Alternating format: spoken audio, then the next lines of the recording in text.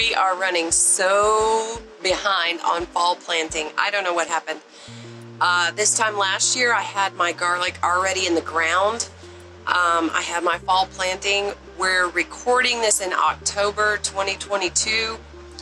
And this time last year, I already had this stuff in the ground by September 2021. I did do a really good garlic harvest and I'm gonna just show you this. You want to get your garlic, organic garlic, and you can buy this at the grocery store. I bought this at the grocery store. This is a just a foam plate and I've put a little water in the bottom and I've set my garlic in it so that the roots can start to come back alive. Now when those roots start growing for me, I will separate the bulb and trying to keep as much of this skin on as I can, I will bury that clove. And that's how I've been doing my garlic. And this year is a new addition. I found some elephant garlic. It is huge. Look how big that garlic is. Um, the kind of garlic I have here is hard neck. They've got hard neck and they've got soft neck. This soft neck garlic will store longer, but in our case, we eat a lot of garlic. We add it to a lot of things and I make powders out of it and add it to so many of my canned goods and stuff like that. We go through it, so I'm not worried about storing enough garlic for a year really. But this time last year, I had my garlic already sprouting up out of the dirt in September. Now we are in October, and I say we because thank you guys you guys are watching my videos, you are subscribing, and I do appreciate that very much. So I'm including this, you guys, in my journey, but that means the bad stuff too. So you and I are running really behind on our fall planting. Let's get to it. Guys, you remember the Brandywine tomatoes that I was so excited to try out. There they are. Um, I think I'm, I can't be disappointed in them too hard because they were part of Second Garden. And I think if I would have had these seeds and started them in the spring, this would have been a really great tomato. And I, I grew them midsummer and put them out here for Second Garden and as you can see they're not doing so well but we've also cooled off quite considerably for this time of year for out here. I just think they're stunted. They're not going to do what we wanted them to do. But that's okay. We've always got next year to try the Brandywine tomatoes. But it is starting to die back now. So I will be able to cut this back today and I'm so relieved of that because this has been kind of in my way. Um, this is why we plant our gardens a little bit better. Had I known how big the asparagus ferns would get and you can't really mess with them for the first two to three years. Um, after that, when they start with their little asparagus sprouts, you cut that and that's what you eat. That's asparagus. But the first two to three years, they say you want to let it fern out and get big and do, do what it does. What a mess. Now, it takes three years on average to establish an asparagus bed. And obviously this is, uh, I think this was our third year, so we won't have to have this going out of control next year, uh, which will be really really great. But if you are planting an asparagus bed, just be mindful of where you're putting it because you got to put up with that for the first two to three years. Okay, guys, look at that. Boy, I've been wanting to do that for quite some time. So now we've got this kind of cleaned up and opened up. This is the one that the mole was going through. So it's also kind of been stirred up for us already, and I don't see any more signs of the mole. I don't know if they just went away or what. Usually that's not how it works in mole world, but maybe we got lucky, guys. This, there's a Thai pepper plant. These two little plants here. This is the one Let me show you how little this is. This is the one that the peppers are just that big, guys, like a little Tic Tac, but they're super, super hot. So I am going to take at least one, if not both of those, and put in a pot because I will be overwintering pepper plants and that may be a different video. Over here, we need to plan what we are going to save or leave alone, I should say. I'm not really saving anything at this point. But what we're going to leave alone and what we are going to get out of the way. So as you can see, this is a lot more cleared out. Uh, back in, I believe, August, I pulled a bunch of the tomato plants and I didn't replant anything at that time because I was worried about the mole issue. This jigsaw here, if you if you watched our summer in review, you know that I was not impressed with the jigsaw. Look, this is as big as the plant got. I'm just not interested. It's pretty. The leaves are purple, white, and green and very pretty, but who cares? I'm, I'm trying to grow food here. Now this is a little jalapeno plant. We have several other jalapeno plants in other gardens, so I'm gonna go ahead and take this out of our way also. Okay, as part of second garden, you guys can see this here probably. I had planted a squash and it started to come up. I doubt I see one squash from this. It's cooled off so much quicker than usual here, guys. I did plant some rutabaga right next to that. And honestly, guys, I forgot that I even planted that. I came over here to pull weeds the other day and I was like, well, what is this? That is rutabaga, which I have never grown. And quite frankly, I'm not sure what I do with a rutabaga, but we're gonna figure that out. Now, over here we have a bell pepper plant that we're going to leave and the basil, I have really given the basil a haircut. I'm just gonna leave it that there as it is. And marigolds in the corner. I add the marigolds to the gardens because they are supposed to ward off. I think they actually entice one kind of bug that wants to come here and live and eat the bad bugs think is how that works. We also need to add a row of carrots in here and I'm going to be using the plank method. That's where I'm gonna get the soil really wet. I'm gonna put a row of carrot seeds down and then I'm gonna place the board on top of it and leave it there for three to six or seven days. Once the carrots start sprouting underneath that board, I will remove the board. Now I've tried carrots all different ways and this seems to be the most successful for me. I'm just gonna take my little garden hand rake and I have just hosed this all down really good. And I'm just gonna stir the top of the, the dirt a little bit so it'll be loose enough that when I go to cover these seeds, I can just kind of sweep that over. Let me find my carrot seeds, guys. All right, guys, I'm back. Maybe this is why we're behind on our fall planting.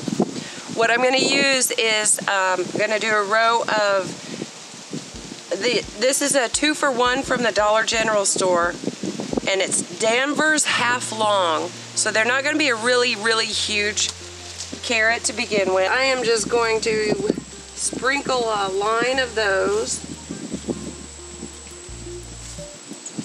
right there. Then we have red cored chantenay. I'm guessing on, on how you say this one, guys. This looks like a short and fat, but like really fat carrot. So this is from Ferry-Morse. And I'm just gonna do the same thing here, right next to that line.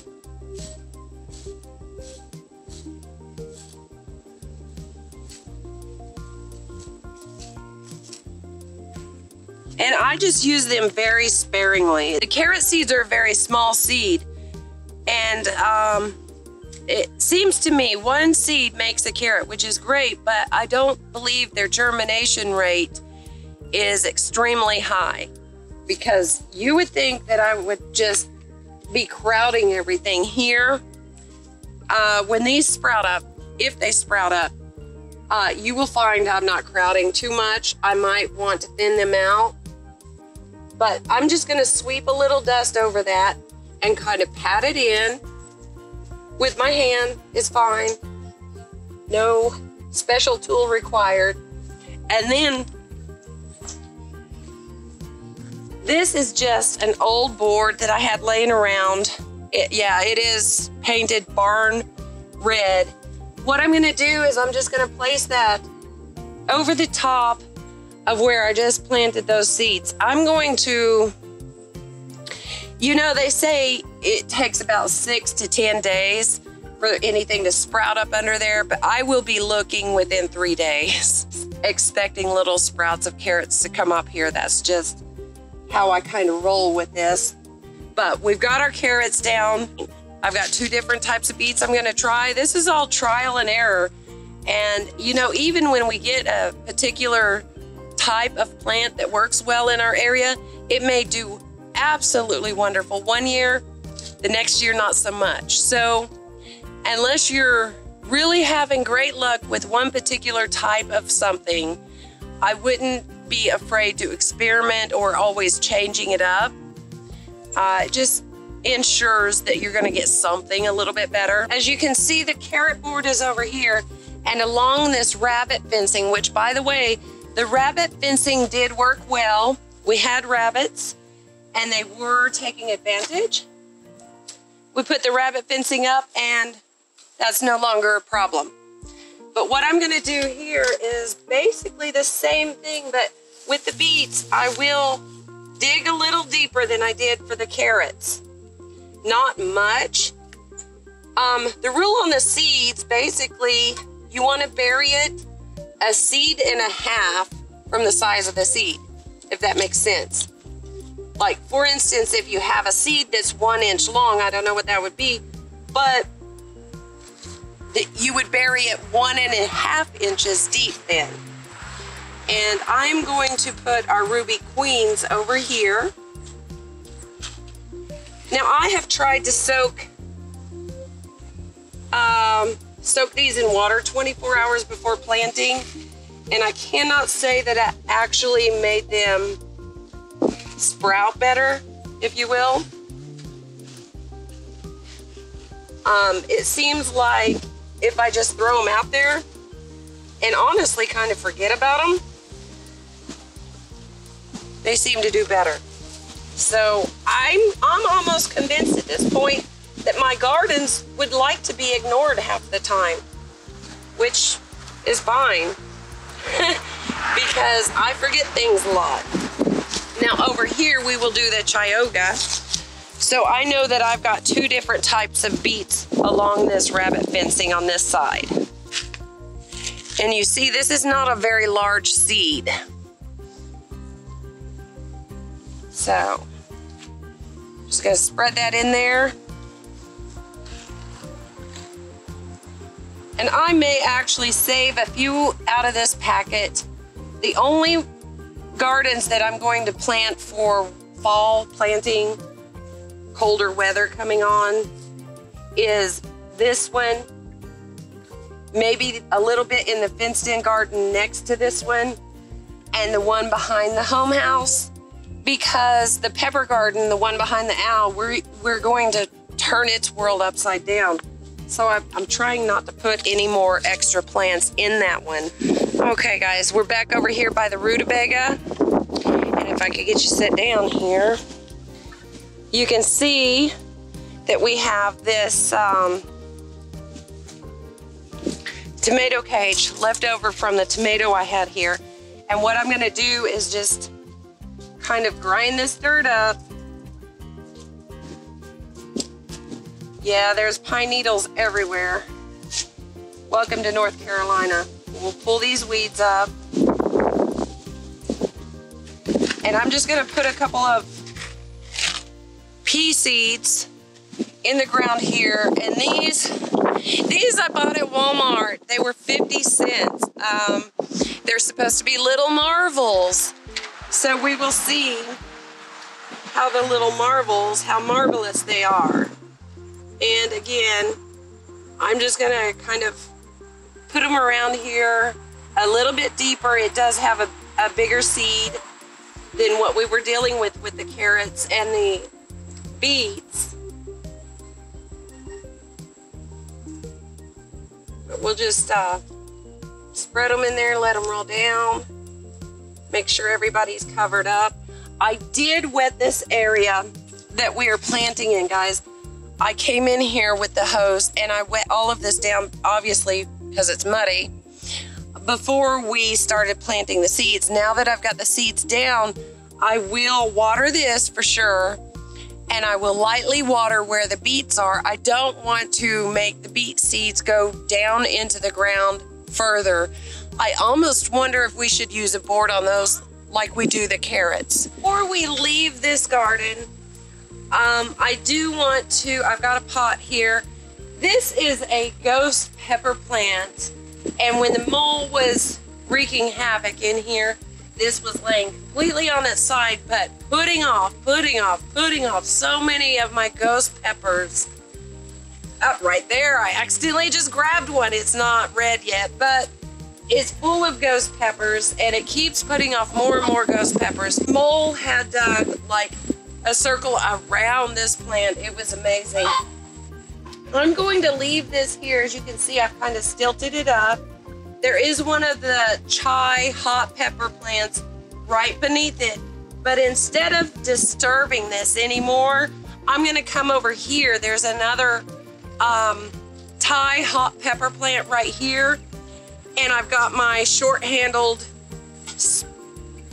shovel here. It's gonna kind of uh, start a circle around this one. Kind of a wide circle because I want to make sure that I can get as much of the roots to this plant as I can. And see guys, it's coming right up. So what I'm gonna do, I'm actually gonna dump some of this dirt out, make it a little bit,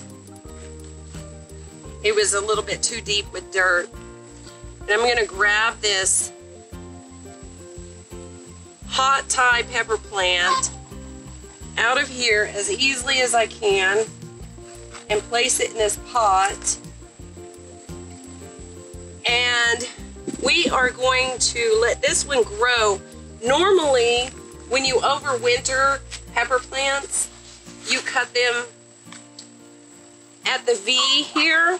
And we'll go over all of that when I go to overwintering some of my plants. Um, but this one is such a small plant that I'm not, I'm not really going to trim it down to overwinter it. I'm just gonna let it grow inside the greenhouse just as it is because it's such a small plant and these peppers are so small also, but they are so hot. Just a little bit goes a long, long way with this. And I was really impressed with this one. So now we've got this one potted up. I'm doing with some of the things that are going to go live in the greenhouse is I am putting them in pots and I'm putting them out in front of the greenhouse, not inside because my greenhouse walls don't roll up and open or anything. It's just a simple hoop house. Um, so it's got to cool down and stay cooled down for anything to be happy in there and not get immediately dried out because it's so hot and dry in there right now. But there will be a lot of plants living in the greenhouse this winter. And this guy is one of them. Guys, you can see what I mean with this hot mess. I went and bought some trees. We're gonna tear up the pepper garden this fall and fence all the way around it. And then I have bought some fruit trees that we're going to do the espalier, espalier, that French technique where you trellis up your fruit trees. And I have two peach trees, two different types of peach trees, a fig tree, a pomegranate tree, and Oh, the plum tree over here. I knew there was another tree. I couldn't think. Call they. We took you on the garden tour of the Tryon Palace over in New Bern. Well, they had a plant sale, so we had to go to that. We dipped into the Tryon Palace. We grabbed our plants that we wanted, and we got out of there. But I did get my pomegranate from there and a guava fruit, which is a tree, but it's going to grow more like a bush and would not be so good for the espalier type of planting. So I'm not quite sure where we're gonna put that yet, but I couldn't leave it there. So, righty guys, we are behind the home house now. And this, if you recall from my last garden tour, is where I, well, there's some still remaining. I didn't get it all. Little nugget of turmeric. Turmeric. There is an R in turmeric. I just don't seem to say it. I don't know what that's about. But what we already have here in front is my spinach is growing, guys. I can't believe that. So I've brought some dark green spinach to add to that row. And I planted two cabbages here already. This is a is a moonflower that's just about had it. All of this stuff here. Look here, guys. Seeds for new new green beans. Right there, homestead beans. But anyways, uh, what we will do here is I have a few more cabbages that I want to plant. I do have an ashwagandha. I started this from seed and it has a weed in it also. Weeds are prolific here, guys. Um, I don't know, it's probably just gonna die. I don't know, I don't remember why I was doing ashwagandha, but I'm gonna go ahead and plant it in here and see what happens.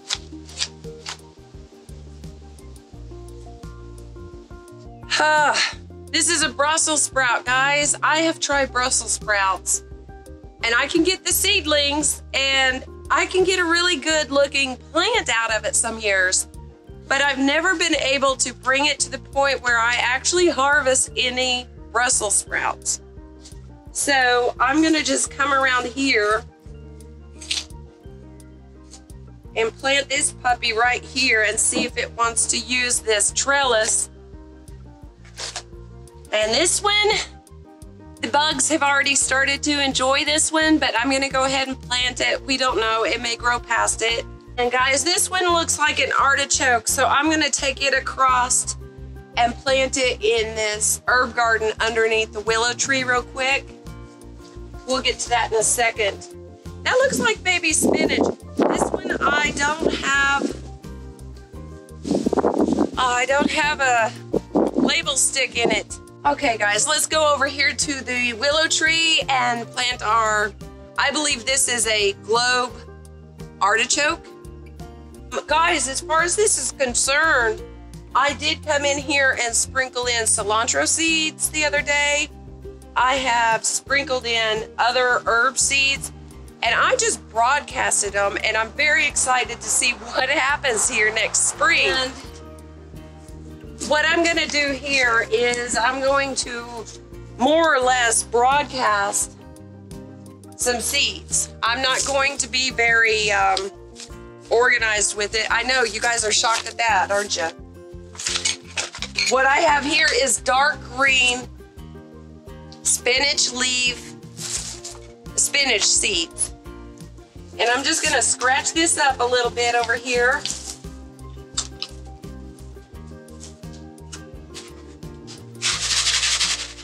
And I'm just gonna broadcast those and re-scratch it. now then what I have here is uh, mesclun. It's a sweet salad mix.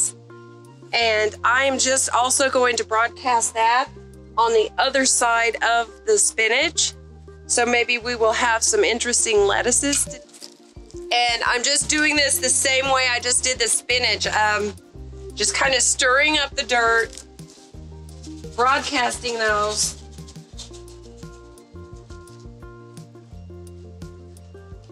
Wish them good luck and stir them up again. We might be really, really surprised how well that works. Guys, I'm not a master gardener. I just like to spread seeds, that's all. We also went and put another artichoke in the herb garden where I told you that I have been broadcasting, randomly broadcasting other herb seeds. And herb seeds are generally so tiny. I have not been like putting them in the dirt or patting them down. I just broadcasted them. Um, and I mentioned that I'm not a master gardener. I just like to spread the seeds. And that is true testament to it because I literally just threw the seeds out there. So we will be very excited to see what happens next spring with this herb garden behind or underneath the willow tree. For a couple of years, I was going out every spring trying to buy the bulbs to daffodils. They don't sell them in spring because you have to plant your daffodil bulbs in the fall. So if you want this bright, sunny, usually one of the first things that comes up out of the ground and blooms and it's beautiful and bright, you want this in your yard, you need to be planting these bulbs in the fall. I hope you guys enjoyed the video. Um, I hope you're learning something as we go. Uh, that's the whole purpose of it is I'm learning, you're learning, we're learning. If you have anything that I need to know, please leave it in the comment section below. This is actually the first time I've focused on fall planting. Back home, there's not really a bunch of fall planting because it gets so cold there, a frost will kill. We do have the hard frost. So after we've grown our corn and our tomatoes and our okra and green beans, we're done for the season. Out here, usually we have a more prolonged season. However, this year, like I said, it's been in the 40s at night already. It's just now in the beginning of October and it's getting to be in the highs or around the 70s. Maybe we reach 80s. So it's very strange weather this year in 2022, but we will see where this leads us. Hope that you enjoyed this video. I hope this video finds you doing well and hopefully you're not as far behind on your fall planting as I was. Thank you for joining me and getting my stuff done and learning with me along the way. Until the next video, take care.